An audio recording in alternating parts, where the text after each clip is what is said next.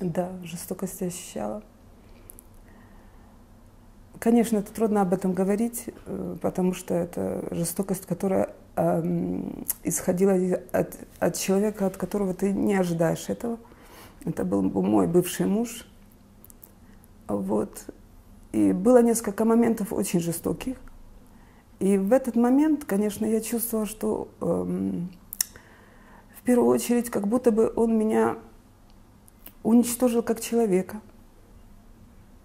Я просто себя переставала уважать в эти моменты. Crecemos y, y entonces pensamos que esa es la manera de relacionarnos.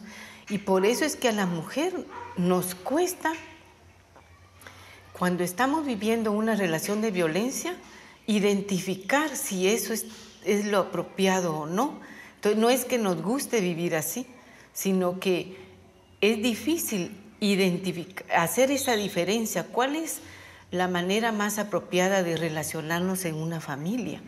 ¿Cuál es la manera más apropiada de relacionarse un hombre y una mujer? Pero es porque se ha aprendido, ¿verdad?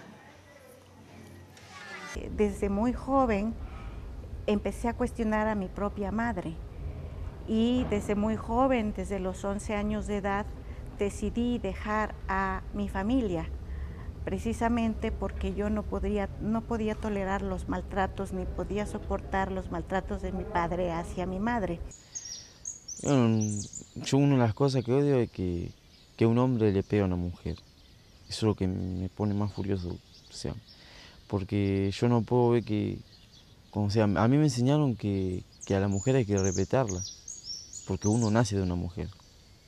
O sea, nace una mujer y a la mujer tiene que respetarla, no pegarle. Tratar de... Mejor es hablar que no pegar. I have been out on the road with my sister on New Year's Eve and there's a bus full of boys and they start calling her names. They start jumping over cars. They start molesting females. Now no one can do anything because either they represent a political party or a religious party or just a bunch of assholes. But the police won't do anything, the people won't do anything, and I won't do anything because I'm shit scared. I don't want that. No quiero ver más en mi familia violentos, abusadores tal vez, mm, injustos, esa situación. Y siempre de vez en cuando veo el temperamento de mis hijos, les hablo.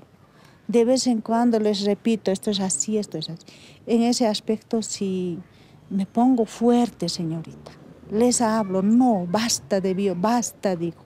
Basta de sufrir, basta de ser así. Ustedes, en el papá que terminen, el papá que tienen que se termine esta situación. Pero ustedes, hijitos, ya no. Son otra generación, eso es lo que les digo a mis hijos.